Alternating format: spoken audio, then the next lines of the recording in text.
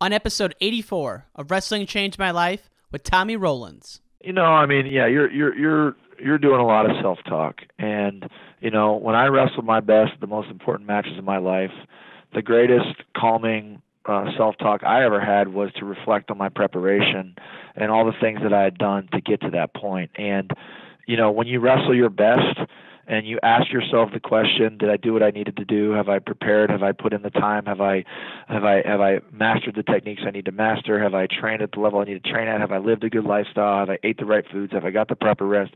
You know when you can when you can check the box yes to all those questions that's the that's the greatest likelihood of having a belief system in yourself. We can endure anything and adapt and pivot and change. Wrestling gave us that ability. I would say nothing in life has impacted me more than the things wrestling has taught me in terms of self reflection, resilience, toughness. Some guys have it, some guys don't. Adversity, 100%. How to pick myself up and be a man after I failed. And everything that has shaped my life and where I'm at today would not be there without the values and basically the lessons I've learned through the sport of wrestling. For me, wrestling saved my life because it, it allowed me to focus and channel my energy. We're fortunate if you wrestled because if you wrestled, natural talent helps, but it's it's five percent of the ingredient. It pales in comparison to heart and technique and effort. It humbled me, taught me humility. Nothing can humble you more than wrestling. I think it's the learning to adapt, right? You learn, you learn how to adapt, you learn how to solve problems. You know, if I look back at my time I spent wrestling, if it gave me one thing more than anything else, it's mental toughness. Welcome back to the show, folks. It's Ryan Warner with Wrestling Changed My Life. Thank you so much for tuning in. I have a outstanding guest for you today. One I've been wanting to get on the show for quite some time. It's Tommy Rowlands, T Row. For those of you living under a rock, Tommy was a three time NCAA finalist, two time champ. He was also a member of the 2007 World Team, and he's the co founder of Rudis. In this episode, we talk about Tommy growing up in a household where three of his sisters were also D1 athletes. We dive into what he learned from Russ Hellickson, obviously, his battles with the Bear, Steve Mocco, and then some behind the scenes as to how Rudis got started and his involvement there. Really enjoyed the conversation. Hope you do as well, per usual. Now, fan of the week time, and it goes to my good friend Brian Johnson on Twitter. That's Brian J. Shytown on Twitter, giving us a shout out. Appreciate the love, Brian. Keep on keeping on, baby. And if you're in Chicago, let's grab a beer soon. Last but not least, this episode is brought to you by Gable the Goat, which is a podcast documentary that I directed and produced. But it's been a while since we talked about it. It's one of my favorite projects I've ever done. And you can find it in this same thread on whatever app you're using in between episodes 74 and 75. And I'm mentioning it now because I just started work on part two last night. So things are in motion. I'm excited again about podcast documentaries. It took me a couple weeks to uh, to kind of get part one out of my system, and now we're ready for part two. And this is just the beginning. I have so many ideas of, of little series, docu series we're gonna do down the road. Part two of Gable the Goat will be live in probably mid to late January. But in the meantime, go back, listen to part one. It's in between episodes 74 and 75. Now that's it, folks. Let's give it up for Tommy, Mr. Rudis Rowlands. Tommy Rowlands, T Row, we're here. We finally done it, man. Thanks for taking some time today. No problem. Thank you, Ryan, for having me. Really appreciate it. Look forward to visiting with you. Absolutely. I mean, there's so many places we could start. I was an avid listener of the T Row and Funky Show and was heartbroken to hear it went off the air. And I've listened to a lot of them. so, um, I did want to start though with with your family because I was um, surprised to hear that all all of your siblings competed D1. Obviously, you were at the D1 level. But let's start with your parents. Were they athletes, and were they like hard drivers of parents? Or like, how did they how did they produce four athletic specimens that all went D one like that? Yeah. well, yeah, no, it's um, you know, my my parents weren't um, you know, highly touted, successful athletes, but my dad um was very into sports as a high school kid and, and wrestled at Ohio University uh for a couple years and really took an affinity for the sport of wrestling. But more than anything, my parents both, my mother and my father, uh, shared a mutual interest in using athletics as a platform to to raise their kids and and teach them about life. And so, um, you know, they made a choice. perhaps they saw some gifts in my sisters and myself to where maybe it was appropriate to teach us about life and something that we had um, some skill or talent in. And so, uh, from there, you know, athletics was used as a platform for us to learn how to set goals, learn how to be in, uh, accountable, and and learn a lot all the merits of of of of life that you can take away from athletics. And so um, that's really where everything came from. It wasn't necessarily that they were Olympic anything or professional sports or anything like that. It was just more more of just uh, having an affinity for athletics as a platform to raise their kids.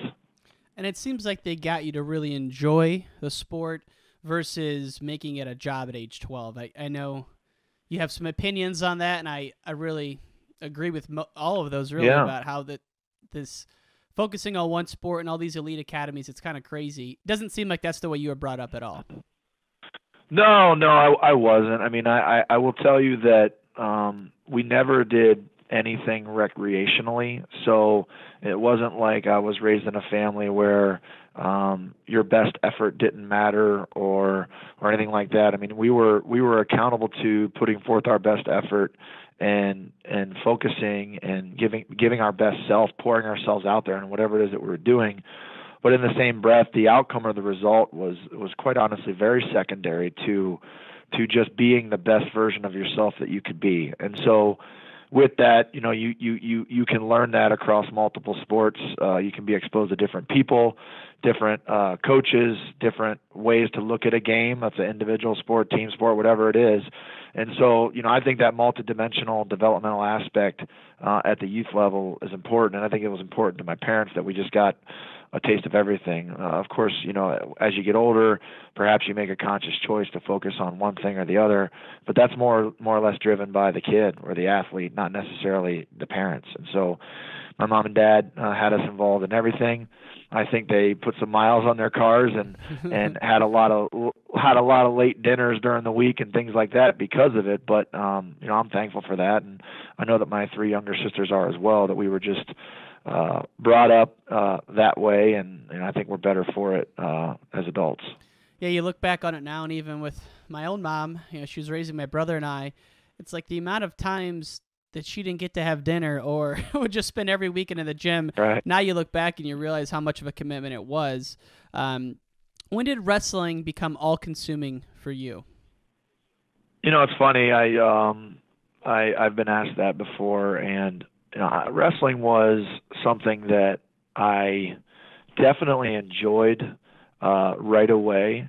But I also, uh, like any kid, quite honestly, I I was almost in turmoil too with with the sport at the same time that I liked it a lot because I was trying to interpret individual failure, right? Trying to interpret uh you know someone attacking you basically physically assaulting you and you have to assault them back and so you know there's it's kind of a love hate relationship when you first started out um and then as you grow you hit puberty you know you learn that uh there's a there's a game within the game and all those types of things, uh, the, the whole sport starts to kind of move in slow motion, and you understand it a little bit more for what it is, and you appreciate, uh, you know, uh, the, the the the battle that you have with somebody else. And so, right around the seventh or eighth grade, I actually remember when I made my mind up that I wanted to be great at wrestling. I think I was in the seventh or eighth grade. I was on my way back from a tournament in West Virginia. It could have been Pennsylvania, but it was a long road trip and it was in the evening.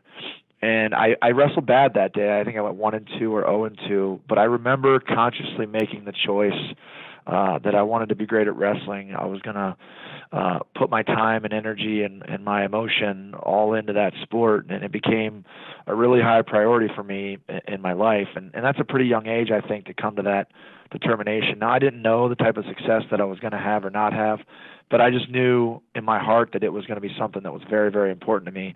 And I shared it with my dad on the way home. I just said, you know, I love wrestling, and um, this is something I want to be great at. And my dad remembers that moment too, which is kind of cool to reflect on. You know, we talk about it once wow. every couple of years, and and um, you know, from that point moving forward, I don't think it's ironic that I was making those types of individual choices at the same time that, you know, you're in your pre-adolescent or adolescent years where you're starting to gain independence and starting to want to maybe maybe stand for something. And um, so, you know, while all that's happening, you know, I, I found wrestling in a in a different way that I had uh, prior to that, and it became pretty darn important to me at that point.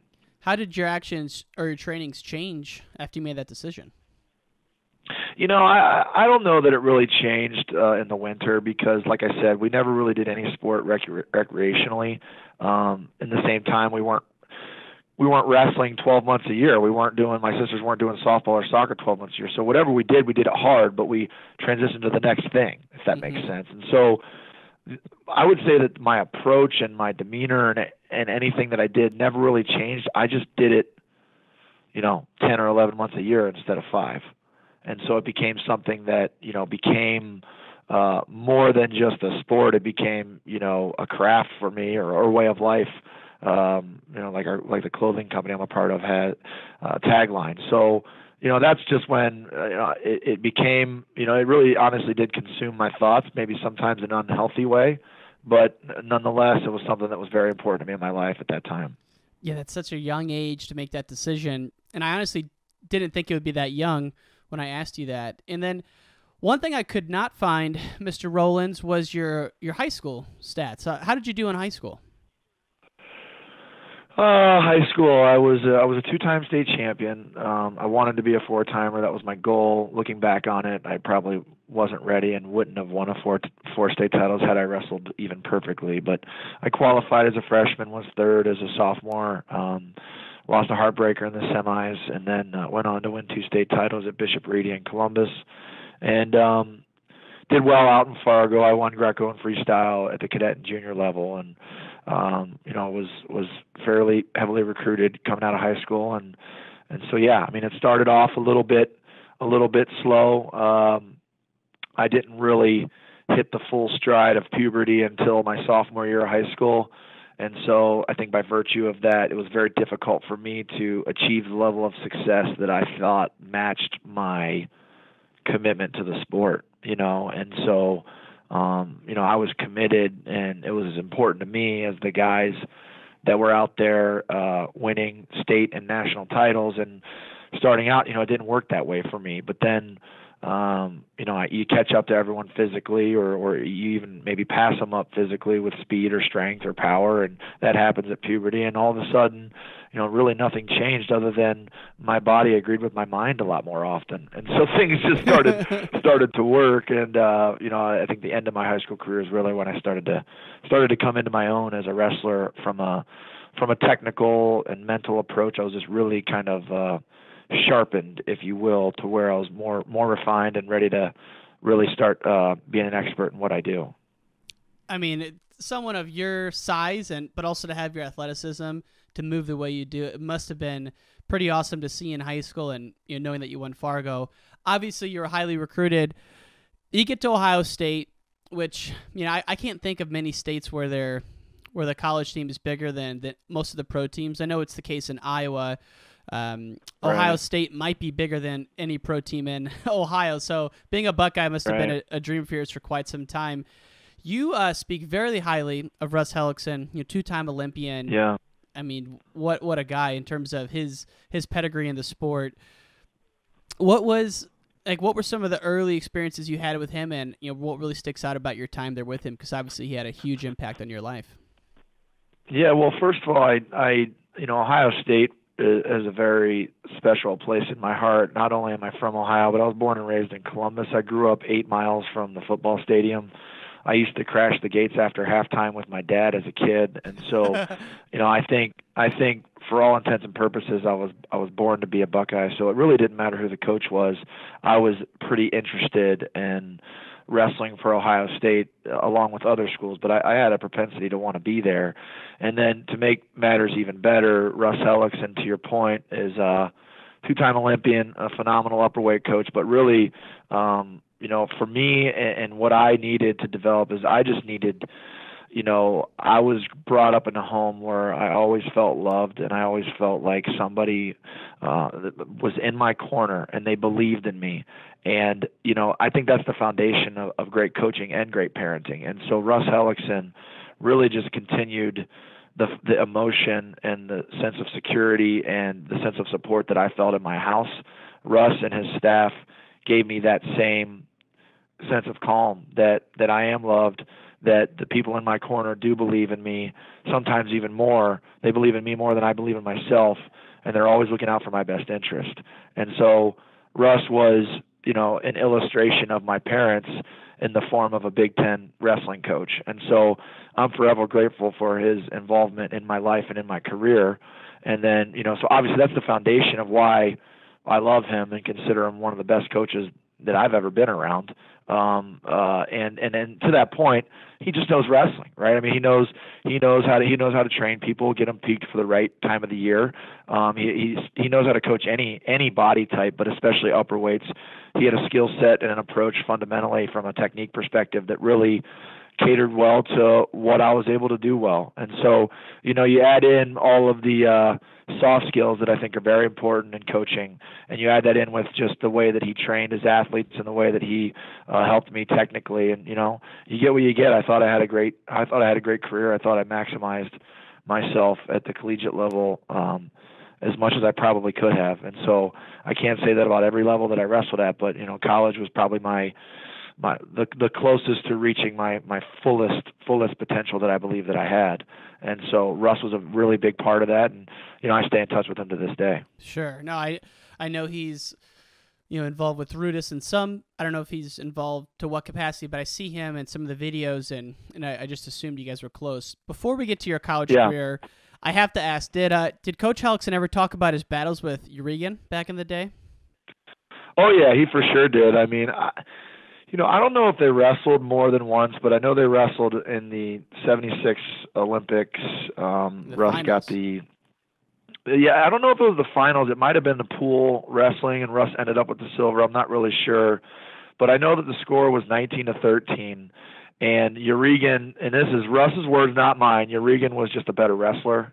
Um, but Russ, you know, had a stick to itiveness to him and uh, a level of conditioning that was very uh, notable, and he was also very strong. And so I think Yarygin got way far ahead of Russ, and then Russ was storming back and ended up losing 19 to 13. But I'd spoken to some people that were there, and they said had that match been another minute longer, Yarygin would have probably rolled over and pinned himself. He was so tired. So, um, you know, great match. You know, by Russ's account, Yarygin was a better, you know, quote wrestler, but it was a great match. And you know, I think Russ is is very proud of his silver medal because he knew that that was the most he had to offer Ivan Yarygin, and uh, he he probably couldn't have done much better. I mean, he might have done better if the match was longer, but I think that he was satisfied with his medal because he believes that that's probably the place he should have been in in that particular year. Yeah, I mean, if you're going to lose to someone, no elite level wrestler, thinks like that, but obviously Ivan Yarygin, along with you know Alexander Medved, two of the greats during that era for the Soviets. You know, I know Coach Hellickson won the Tbilisi, so you know he had the chops Yeah. to be there. Um, Yeah, absolutely. and you know what's interesting about Coach Hellickson to me is that he was around during Gable and Iowa, and Gable kind of skyrocketed during this time, and he was he was coaching at Ohio State as well, and had you know five or six national champs. Would you say his style, like his coaching style and his workouts, were Iowa style like, or was it kind of his own thing for the time? I always wonder how coaches who came up during that same era modeled their trainings. Yeah, I I I, I never wrestled for Iowa. I mean, I only wrestled for Russ Hellickson and uh, you know under Lou Rosselli as in my international career and a few other folks. But I, I would say that Russ's uh, proposed training regimen was similar to Iowa's in that uh, we were we were working out two, sometimes three times a day, um, and and really focusing on the physical uh, preparation and the physical demands of the college wrestling season. And you know, ob- obviously Iowa is a lot more notorious for that than maybe Russ is.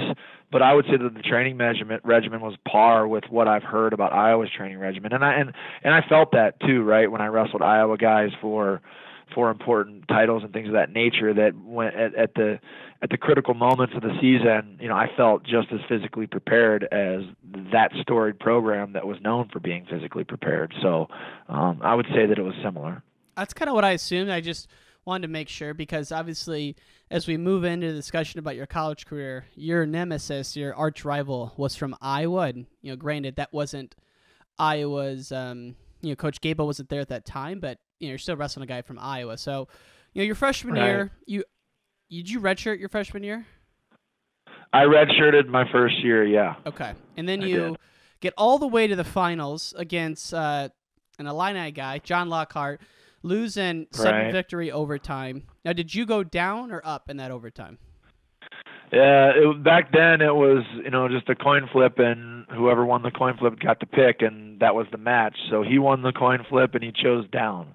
So I had to I had to ride him out to to win the title, Okay. and obviously that didn't happen.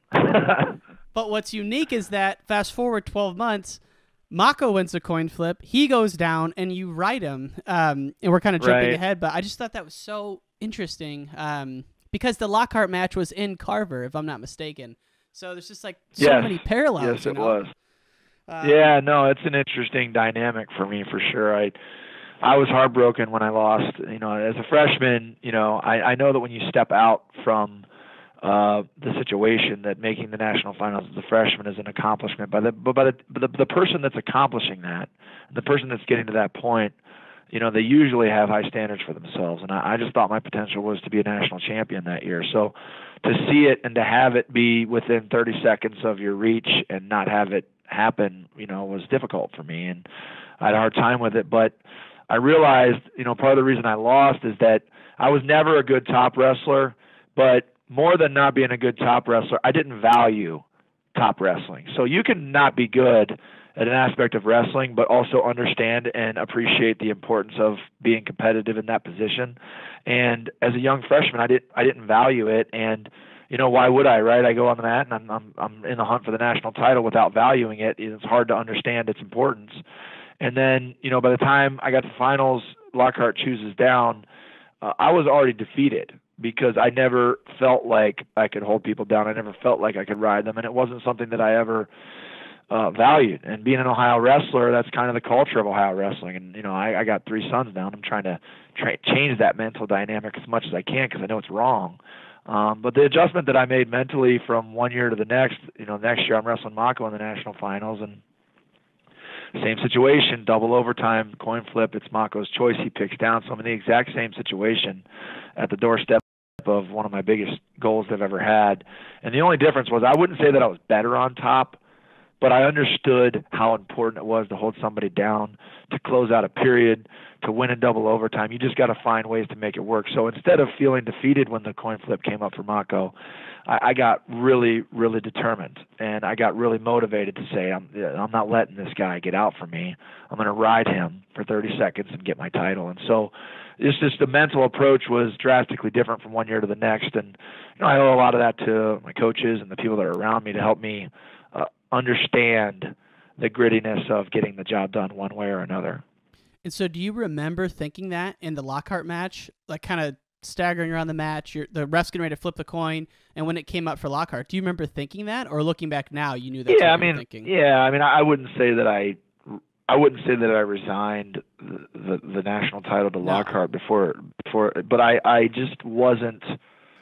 I was deflated. I felt, I felt as if I was wronged almost because the coin flip didn't come up for me, Mhm. and that's that's obviously not the mentality you need to have at that level of competition. Um, whereas the next year I was trained uh, to be ready to do whatever it took to win, no matter what the circumstances are. And if that includes riding somebody out, and as you know, the percentages are pretty low to ride somebody out in a double double OT. Um, you know, I was going to do it, and so I found a way to make it happen, and you know, the rest is the rest is in the history books. Absolutely, and God, it brings back good memories though. That that single overtime, uh, the right out or the escape, and you know, you said Right. something about Ohio being a takedown state. Obviously, the tournament of champions is is all takedowns. You know, I'm from Illinois. I feel Illinois is the same way because you look at you know the summer results at Fargo, they win all the time, and you know freestyle is obviously uh, on your feet sport, but God, when you get to college, you just don't see the same level of Division One All Americans coming out of Illinois, and I think it's because of the writing. Um, Yeah.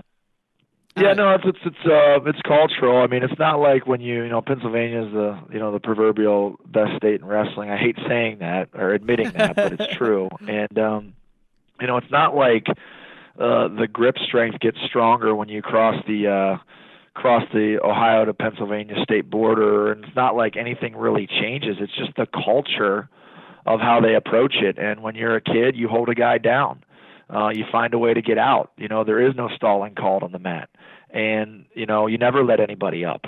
The thought of letting somebody go in Pennsylvania is like it's like blasphemous almost. and so, you know, everybody is sharpening everybody on the mat wrestling in a way where you know the second you cross state lines into Ohio, and that state is officiating their most prized events differently and the coaches are coaching it differently because of how it's officiated and it trickles all the way down to the youth level. And so you see a penalty for states like Ohio and other states when they go on to college at the high levels you know adjusting to mat wrestling being able to get out from the bottom being able to hold a guy down having uh you know near wrist ties bar arms claw rides spiral rides all these different types of holds that you need at the collegiate level. The Ohio kids uh, generally speaking are way less familiar with that element of the sport than than some of these other other states. And so I was a victim of that for sure. And uh I had to had to change it. So I found a way to make it work good enough at least. I wouldn't say I made it work great but made it work good enough. And uh yeah. Got the job done. And you know, going into that sophomore, your redshirt sophomore year, you know, even though you had lost, the upside for you was huge. Um, you know, you, in my opinion, you're one of the first guys to really change kind of how the heavyweight weight class wrestled. And it's I don't even feel like heavyweight's the right word because that's the era of like Kerry McCoy, Stephen Neal, Brock Lesnar. They were kind of setting the stage. Then you come Right. in and you could have been a college linebacker and you're freaking rolling on kids. Now, going into your sophomore year though, this the mystique around Mocco, I can remember it. I was in the seventh grade, lived about an hour from Iowa, was huge. Did you hear that, or were you so focused in on getting that title back you didn't even hear it? No, I heard all of it. I mean, and and and you know, Mocco, who's a great competitor, and was you know, I, I would say that you know, you got Kolat, you got Mocco, and maybe two or three other guys is the most notoriously famous high school wrestlers. I mean, you could hear him arriving at college from a mile away, right? And so I was I was very prepared for his arrival at Iowa. I knew I was going to have to beat him, and even though he had not wrestled a college match, I knew he was on the very, very, very short list of people that I'd have to wrestle against to to win the national title. And so, um, you know, it was a it was a great rivalry. Got started right around that time, but I had known Mocco. You know, we're pretty much the same age, so you know we were going to kids tournaments at the same events. You know, since we were kids. I remember he was always a little bigger than me, and I remember we'd always wrestle at the Ohio State Fair. Um, we wrestle in this barn with with cows right next to the uh, the mat and things like that. Um, and it was an all it was an, it was a freestyle tournament in August, and it was always really a barn burner wrestling tournament. You had the Harvey Twisters come from Chicago, and then New Jersey, like uh, Mocco and Damion Hahn and those guys used to always come over. All the Ohio kids would show up, and so every summer. Mocco was there and I was there, so we, I, I'd known who he was, uh, and it's well documented with his success, you know, since we were kids. So there, there was really no shock to me when he arrived on the scene as a freshman. Yeah, and before we get to that, I have to ask real quick, dude, how impressive and how studly was Damion Hahn back in the day? He was a stud. I mean, I would say he's right on the Oh my god. he's right on the list of you know high school legends you get. I mean, Hahn, Mocco, Kolat. I'm, I know I'm leaving some out, but those are the ones that really pop out to me. That uh, Alan Fried in Ohio, he was a big one, and then there's a lot of guys after that. You know, once I was out of the youth wrestling scene in in my 20s and 30s, I think Brent Metcalf had that same Mhm. same vibe, and there's a there's a few other guys like that. But there's a short list of people that just kind of transcended high school wrestling, and they were being talked about, you know, by grown men. Like these these guys are incredible, and uh, obviously Mocco and Hahn were were two of those guys. Yeah, and you know your freshman or your sophomore year, excuse me, I believe you went one and two with Mocco that year, and uh, you know, lo and behold, NCAA finals comes up. You know, you're getting ready to step on the mat. I mean, I've heard you talk about this before, but you knew that when you went against any of those top guys, and we're gonna key on Mocco here, but whoever it was, you know, the, the very tip top guys they would take into deep waters, and and you take them into deep waters, but you know you were gonna get out of, gonna get out of your comfort zone. I mean, if you're 10 minutes out from the match with Mocco as a sophomore, what are you thinking, or are you trying to be as calm as possible?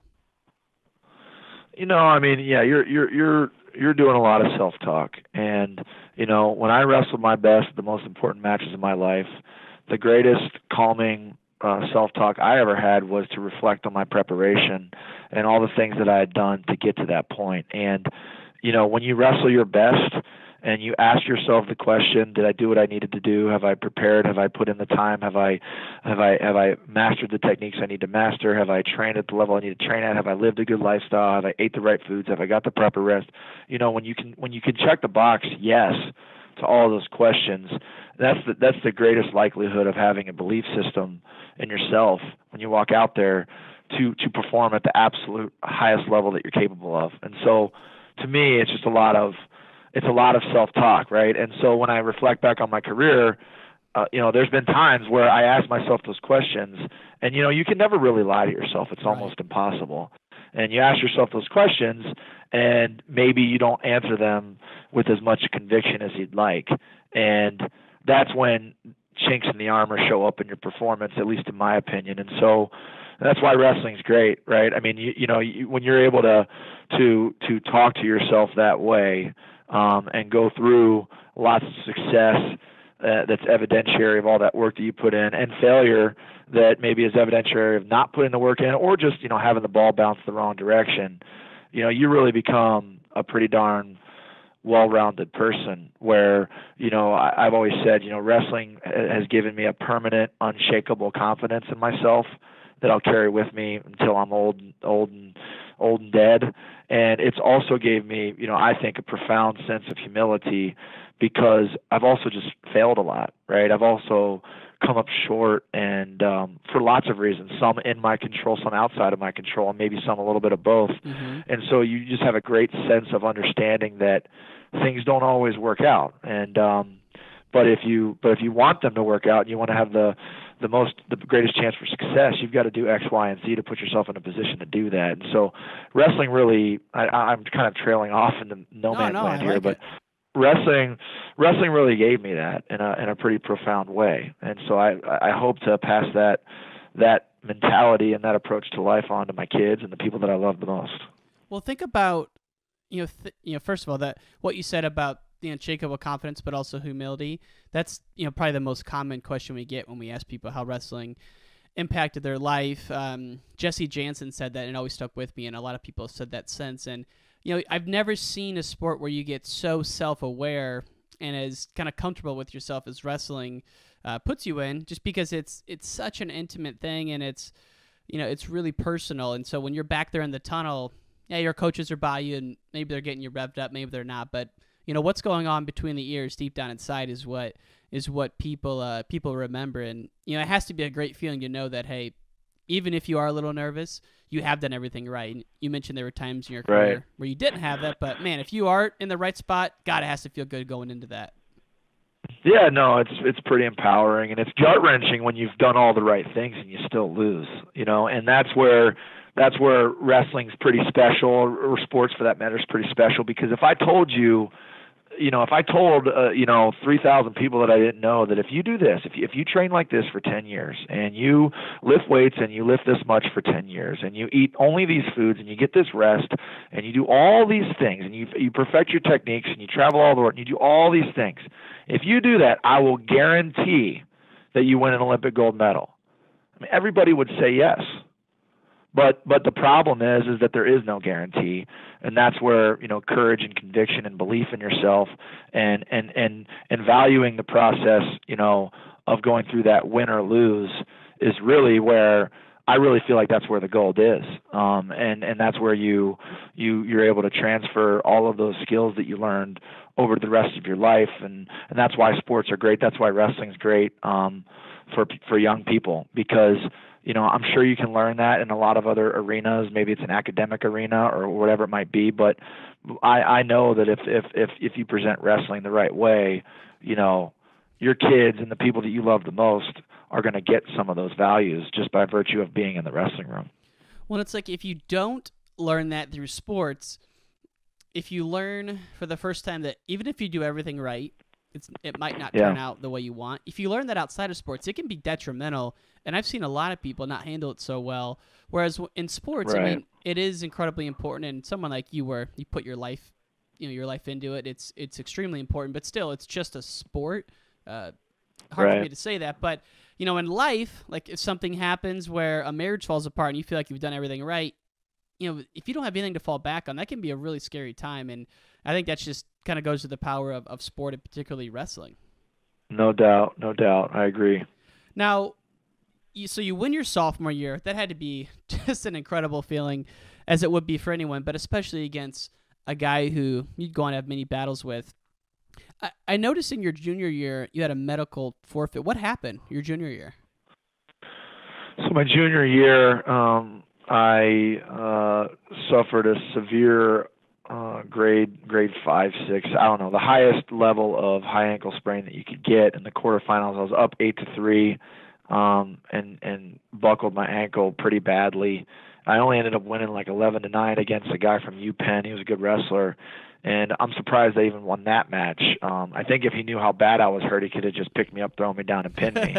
and um, by the time I got to the semifinals, I gave it, I gave it the old heave ho and tried to wrestle, but within one minute, I just, I just could not compete. I, could, I was wrestling on one leg, um, and so I defaulted out and took a six. So I wasn't able to to rematch Mocco from the prior year's national finals. You know, I did. I, I will say that now that the years have passed, I remember thinking when I was warming up for the semis with with one leg, pretty much, I was like, if I go out there and headlock this guy and I'm lucky enough to pin him, my reward is to get completely undressed by Mocco in the national finals with with with one leg. And, that, and that's not to say that I forfeited for that reason, but I just I just couldn't compete. I mean, the the, the guy in the semis was going to beat me. He he took one shot on my on my good leg, so I had to post on my bad leg, and I just fell over and just knew that I I wasn't able to compete. I mean, I, I don't think I could have beaten anybody uh in the in the tournament at that time, so I forfeited out. Man, a sprain is a tough one because it's not like you know you have an ACL surgery,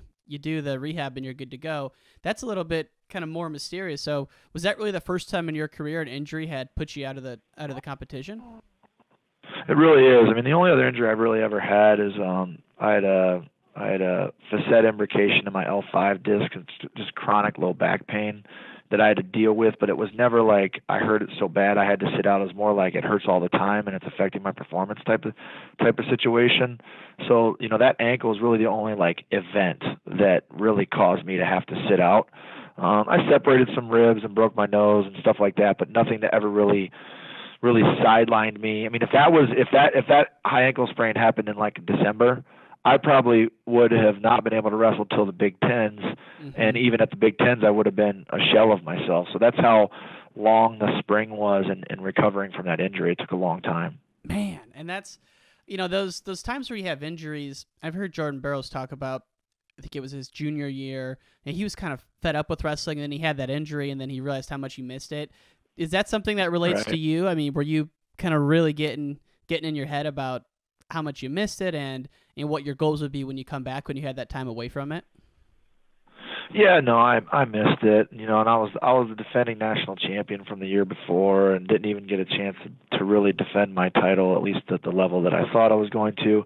You know, that year Mocco was having a really good year, and I I was actually having not as good of a year as I was my sophomore year. So, um, I was, but I was wrestling really well at the national tournament. I was mentally adjusted and in a good place, and so I really was looking forward to that rematch and maybe upending uh, a, a pretty dismal season, at least by my standards, and didn't even get that opportunity. And so, you know, when you don't have a chance to to settle the score yourself, you know, you feel you feel a little bit empty. You know, it's almost like it feels better to lose than it does to not have a chance. Mhm. And so that carried over into into my senior year where Mocco took an Olympic redshirt year and I had a real good season and was able to was able to win again. Yep. And you finished your career one of the tops in Ohio State history, three time finalist, two time champ. Did you know right then and there that you were going to make a run for the 08 Olympics? Yeah, I think I think when I made the national finals as a freshman, I, I kind of realized that you know I was going to be able to have uh, a post collegiate career and really make a run um, at World and Olympic aspirations. I also competed in the cadet World Championships, the Junior World Championships, and the FILA Junior. Um, and then I, I competed in the cadet and FILA Junior World Championships you know, age 16 through 20. Mm-hmm. So I was exposed was exposed to the national team, exposed to the national team coaches. Um, I was probably in their development pipeline and stuff like that. And so when I graduated, um, I, I knew I wanted to make a run, and uh, I did make a run, and uh, you know, competed all the way through 2012. But you know, didn't close out my career quite the way I wanted um, I think at the time when I when my career ended, I, I think I thought that I, uh, you know my my situation was unique, that my career didn't end the way I wanted. And then, you know, as you get older, you start to realize that you know 98% of the guys that wrestle uh, at a high level, they don't finish the way they want, right? So um, I guess I'm just part of the the big group. and I'm thankful for it. I mean, honestly, it was a great experience. I, I used to think that um, a full scholarship was the greatest perk that the sport has to offer. um, not, and then as I, when I graduated college, I got to travel the world. You know, for eight years, I visited 26 different countries and spent a lot of time in the Ru- Russia and their, you know, the Russian provinces and Western Europe, South America, Asia, deep into Siberia and Russia, and so I really got to you know get a cultural understanding or a global understanding of what our what our entire world looks like. Um, I got to understand what poverty really means, you know what I mean, and all those types of things. So, you know, honestly, that might be one of the best gifts that wrestling's ever given me, more than just you know a scholarship. You know what I mean? So yeah. that was was cool. I wouldn't have I wouldn't have had the chance to to travel the world for eight years in any other job and and experience all different walks of life and cultures and things of that nature.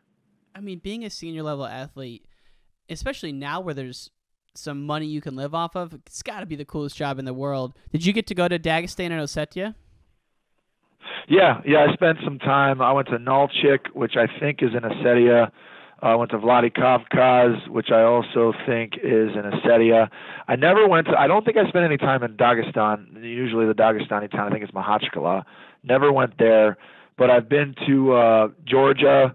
Uh, I've been to Iran, Azerbaijan. Uh, like I said, I think I've been to, been to Ossetia twice, Vladikavkaz and Nalchik. I went to Grozny, which is in Chechnya. So I spent a lot of made a lot of trips down to that Caucasus mountain region where wrestling is wrestling it's the wrestling mecca you know people say that you know you you could say it's the lehigh valley or pittsburgh or northeast ohio or even or even chicago or iowa but you know it's the mecca is over there in the Caucasus Mountains. That's where that's where wrestling is king. No question. And I've heard you say this a couple times in interviews, but you believe uh, Buvaisar Saitiev or Saitiev is the greatest wrestler technician of all time. Did you have any in- encounters with him over there, or is that just your opinion just from watching him wrestle over the years?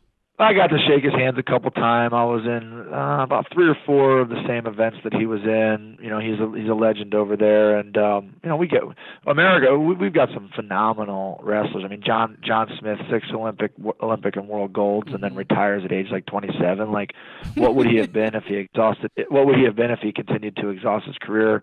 You know, Burroughs uh, is incredible. You know, he's he's the he's a modern day John Smith, and you could argue that maybe his career is better than John's. And and uh, you know Bruce Baumgardner, 13 medals, you know five golds. I mean these are we have some some legendary guys in in our sport uh, in the United States. Um, but I think if I had to really split hairs and and think about who was the, just the most most dominant and most accomplished and most technical wrestler ever to walk the face of the earth, I'm probably going to go with Saitiev.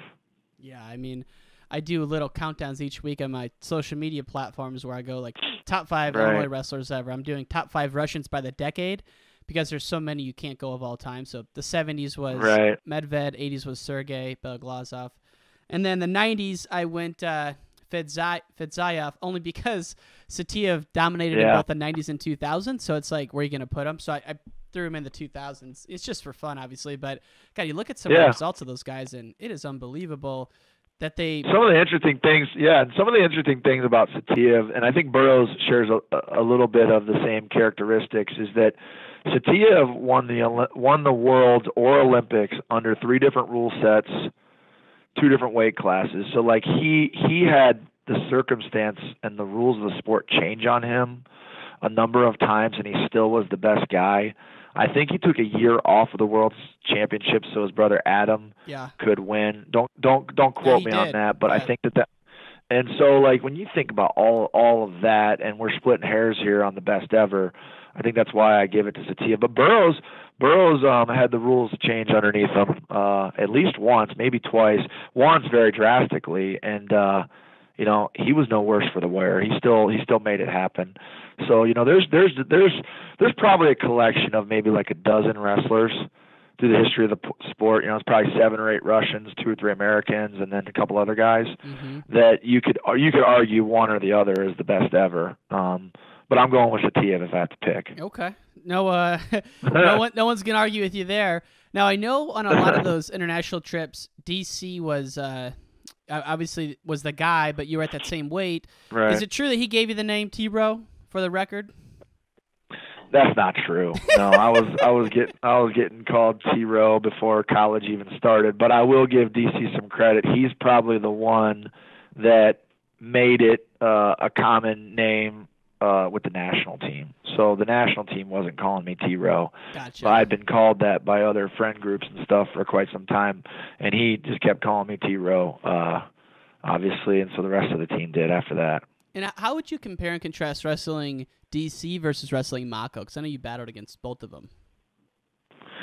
Yeah, I mean they're worlds apart. I mean, I wrestled I wrestled Mocco 19 times, so I'm very familiar with what what he's good at and and the things that he brought to the table. I went 0 and I went I went 0 and 4 against Daniel. Um, he was just a better wrestler at that time, um, and uh, really just unbelievably talented. Um, I, I think that goes without being said. You know, people don't talk about his talent level quite as much as I think they should because his physique is not as like mm-hmm. um, pronounced and obvious as other phenomenal athletes. But he's he's he's arguably the greatest athlete I've ever put my hands on. And um really, and then he also yeah, and he's also just a really good competitor. He's a smart he's a smart competitor. He makes good choices.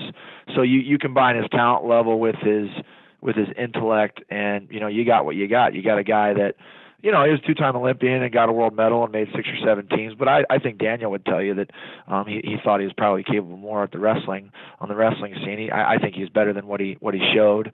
Um, and and then obviously he's a he's a legend in MMA and UFC legend and champion and great guy. And uh, I feel fortunate to have come into contact with him. Quite honestly, it's just yeah, I feel better by virtue of of coming into contact with people that you know bring out the most in you and, and even if it's not enough you know you feel better for the experience and i feel that way about daniel yeah i mean guys in that era eh, uh, and you included obviously it, it's kind of the dark ages of wrestling with the ball the ball drop right. or ball pick whatever you want to call it but also the fact that now you know all a lot of you guys would have gotten multiple you know, especially guys like Joe Williams, who was kind of my hero growing up, and DC, like those uh-huh. guys would have gotten way more medals if they would have had the two bronze system now that they do now. So you know, it's you kind of look back yeah, at that no time. kidding. Yeah, you know or I mean? or or if they had a two or a two point takedown instead of one point takedown, or or uh, continuous scoring instead of you know the best two out of three periods. I mean, I could go on and on if you want me to, you know, uh, be, be be be that old guy that says we had it worse. But um, yeah, no, it's it's. uh you know, it coulda, shoulda, woulda. You know, um, but yeah, these these guys were were were legendary guys. Joe Williams, Daniel. I mean, they did a phenomenal job um, uh, competing for the United States. But we are in a, we are in a golden age oh, right baby. now uh, in Amer- in American wrestling, and uh, it's exciting to see all of these.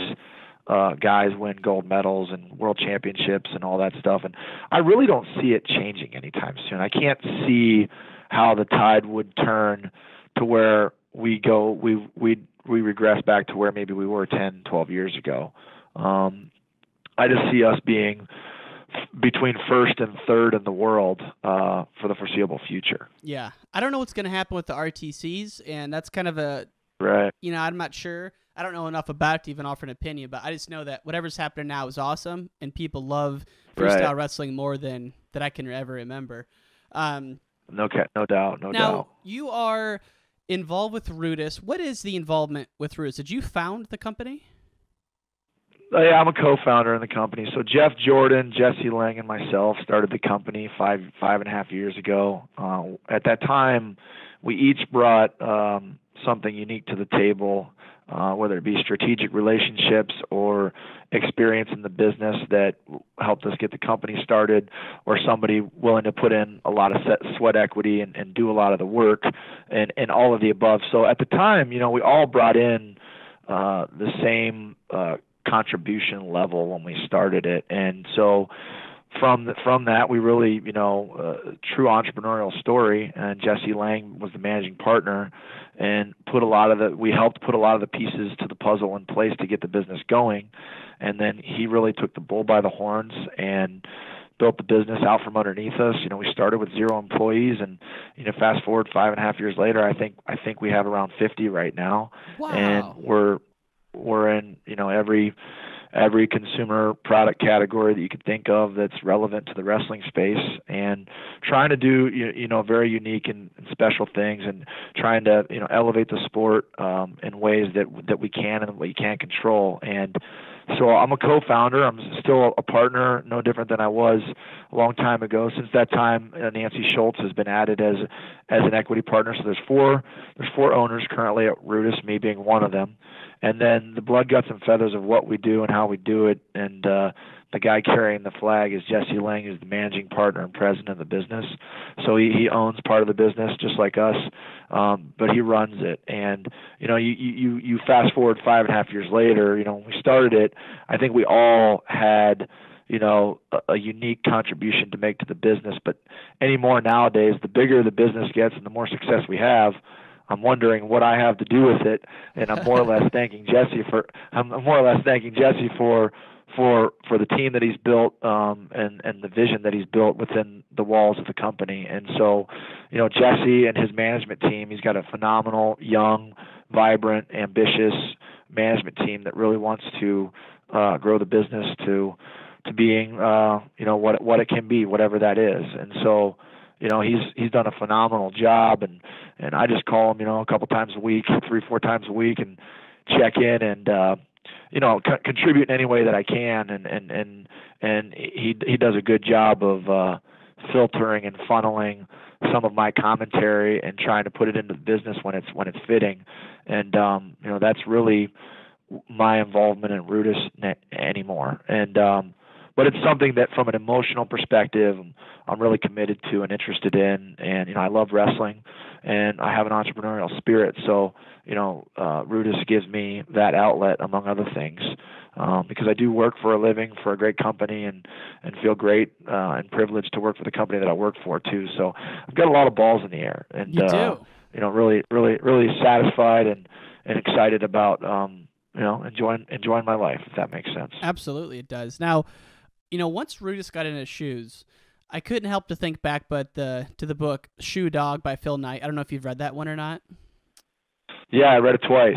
So has Jesse and Jeff Jordan and Nancy. We've all read it. It's really kind of an inspirational story that that we draw a lot of influence from. Isn't that amazing? And so, as you're saying this, I'm thinking back to when he cut over from Blue Ribbon to Nike, and kind of all the uh, all the different hurdles he went through. When you guys got into shoes, to me that seems like a big kind of turning point from just t-shirts and singlets, and you know I'm sure that is extremely yeah, no doubt. Well, what what was that process like, and how do you guys do it? I guess what's what's what goes into that? Well, I mean, you know, keep in mind, I'm just a talking head when it comes to what do we do and how do we do it. It's sure. it's the team team that did it, and I was I was in part I was part of the risk, part of the investment, right? Because before we ever launched our shoe and made it known to the public, we were we were engaged in the product of developing a shoe for many years, spending lots of capital, making lots of investments, aligning ourselves with uh, industry veterans and, and supply chain experts and sourcing agents and and all of the above so that we can create uh,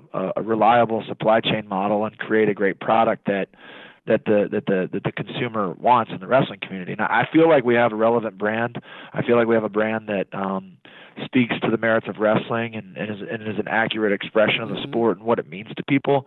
But you know, if you can do that and you don't have a good product, I mean, what are you really? So it's been a journey, and it hasn't been without without adversity. But I feel like um, from a merchandising perspective, as well as just a distribution program and, and ways to develop uh, the shoe program going forward, you know, we're just now scratching the surface.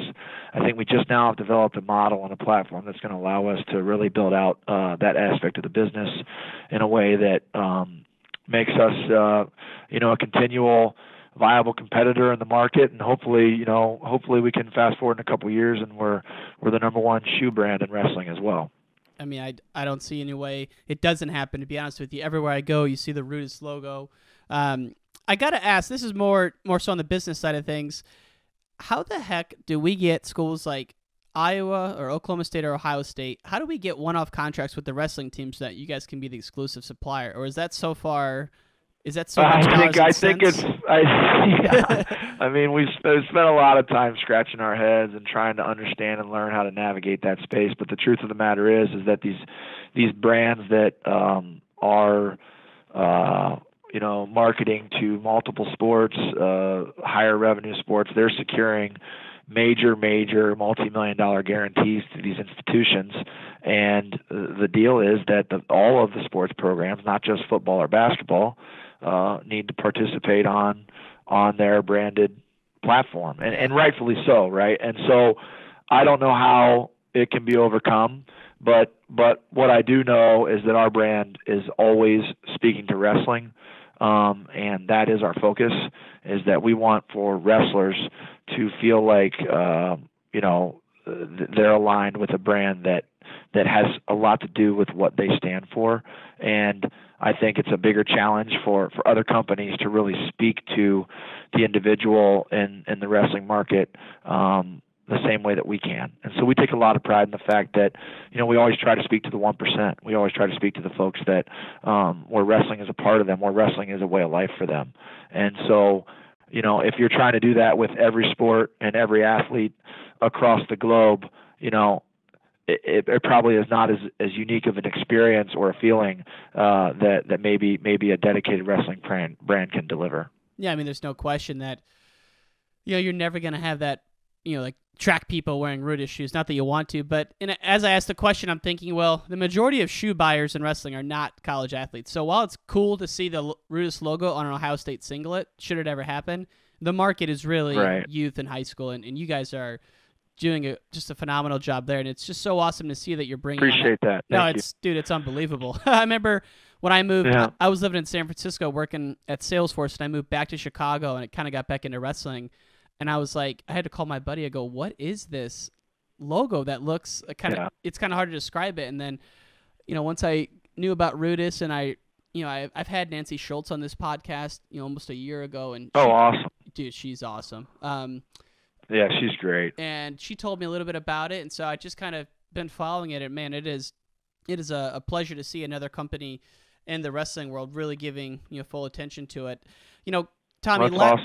Appreciate that. absolutely, man. Um, last question for you, and usually we ask, "How did wrestling change your life?" You hit on that at the beginning, so I'm gonna ask something a little bit different. You're a sales Okay. guy. I'm in sales. I Yeah. freaking love sales. I think it's it's the one. It's like the being a pro athlete in business. That's how I always say it. Um, right. How has wrestling enabled you to have a successful career in sales, or what about wrestling do you use every day in your sales career? Well, I think that um, you know, first of all, I, I run a sales force in the fresh produce industry, um, as well as indirectly manage a third party third party transportation and logistics brokerage. So I work with over 20 sales reps across all those businesses on a daily basis. And I would say six or seven of them are college wrestlers, and 15 or 16 of them are former college athletes. So we really try to target that competitive spirit and that competitive mentality from an athletic perspective, and we've had a lot of success with it. And so, uh, you know, this is something that I talk about on a regular basis to to our teams and to our people. But at the end of the day, I feel like a wrestler. Um, there's really two reasons why they're able to transition well into sales if they've got their head screwed on straight. And one is they enjoy competing and they understand competition. They don't shy away from it. And so the thought of walking into somebody's office or somebody's manufacturing facility or or making a sales call to them, eh, they feel like they're putting the singlet on and it's okay, here we go. Either I win or I lose. Ready, set, go. And they're encouraged by the prospect of doing that for a living. They're they're excited about that. And at the end of the day, sales is not for everybody, and most people in the world do not want to do that for a living. And so I think that wrestlers they yearn for that. They they miss that. They they loved that about what they did as as a sport. And when they get exposed to wait wait a second. So i can't wrestle anymore right? I can't uh, i need to make a living. I got to support my family. And i get to essentially you know put my singlet on and and slap hands with somebody with every phone call that i make or, or and so so i think the root of it is they they enjoy competing the thrill of competing is something that they yearn for and that they need. And so that works well in sales. The other thing is that I think, you know, even even great wrestlers have failed many many times and so their ability to process failure deal with adversity and and understand that when you come up short it it's not an indictment on you as a person and that you just got to keep sticking with the process and eventually it yields positive results. You know wrestlers are very very familiar with that. So so they're they're immune to failure and if anything failure makes them feel alive and it makes them feel like, well, now I have something to correct, something to make better, something to improve on. And so the the sense of competition and the ability to process failure and adversity has really I feel like helped me as as a salesperson and sales executive, but I've also seen it just help uh, people that are in sales for a living. Is that they, they know how to compete and they're not afraid of failure. And if you know how to compete and you're not afraid of failing, well, then the sales is a good calling um, because that's the name of the game is just sticking to a process and and being fearless. Yeah, and if you put in the time every single day, kind of like an athlete, and you're open to learning, there's really sky's the limit in terms of what you can do and what you can earn. And I tell, you know, yeah, no doubt. I tell all my friends that where I'm like, listen, they're feeling a little guilty that they're not a doctor, an engineer, a lawyer, and they feel a little left out because that's not what they do. And I, you know, I try to get them into uh, get them into sales. But to your point, it's not for everybody. But um, you know, just once it's I funny. It's funny you say that though because that's another that's another good point. Is that um, you know I've always told people in sales. I've heard it from uh, from one of the sales trainers that we work with. But sales is the only job that you can give yourself a raise anytime you want. All you got to do is go sell something and you'll make more money. And so wrestlers wrestlers are kind of accustomed to being in control of their destiny. Um, they're they're very they learn to like the accountability of if I win, it's me. If I lose, it's on me. And so sales is kind of like that. You control your own destiny. And um, so I also think that's another reason why they they like to be in control because they've been in control of of the outcome of their of their match or of their training. Um, and so they want to be in control of their career in a way where you can kind of compute if I do this, I get that. And sales sales is made to be that way. Yeah, and if you kind of think about you know every Sunday I I spend an hour prepping for the week. I feel like that's like preparing your workouts for the week or your regiment for the week, and you can totally yeah. control what you want to do. That's right. There's no question about that. That's a good point. You know, so well, Tommy, I know we're way over time here, man. I've been looking forward to this one since I started listening to the T Row's show way back when, and it's been an honor, man. I hope you have a great day, and want to thank you for the time. Thanks for having me on, Ryan. I appreciate it. Absolutely. Take care. And all great things must come to an end. If you enjoyed this episode, please subscribe, give us a review, give us a rating, and share this with your friends. It would mean the world to us. Thanks for listening to Wrestling Changed My Life.